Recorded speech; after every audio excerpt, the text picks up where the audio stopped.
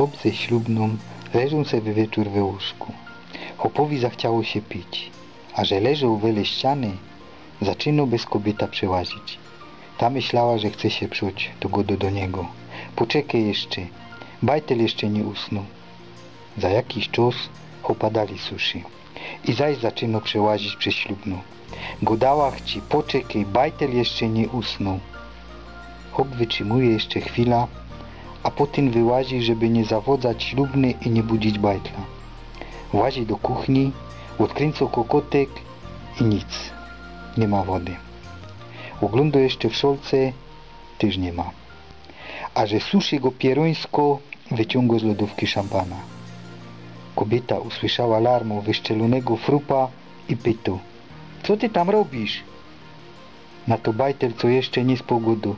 Nie chciałaś mu dać, to się zaszczelu. Może być tak, ale może też być inaczej. Mąż z żoną leżą wieczorem w łóżku. Mężowi zachciało się pić, a że leżał od ściany, zaczyna powoli przechodzić przez żonę. Ta sądząc, że mąż ma ochotę pobaraszkować, mówi Zaczekaj, synek jeszcze nie śpi. Po pewnej chwili mąż ponownie próbuje przejść przez żonę, bo dalej męczy go pragnienie. Mówiłam ci, zaczekaj, mały jeszcze nie zasnął. Mąż wytrzymuje jeszcze chwilę, a potem wstaje delikatnie, żeby nie przeszkadzać żonę i nie budzić dziecka, idzie do kuchni. Odkręca kran i nic, nie ma wody.